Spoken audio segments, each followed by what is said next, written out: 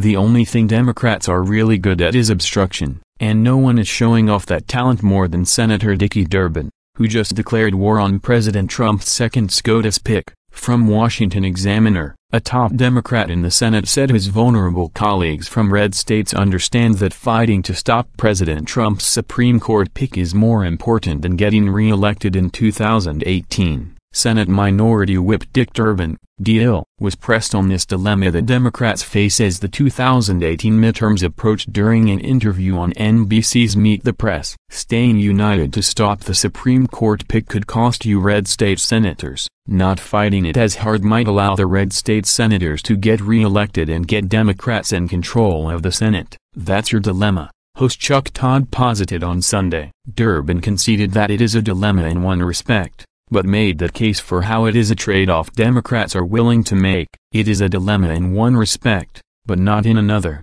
I will tell you, the men and women that I work with on the Democratic side really take this seriously. They understand it's an historic decision.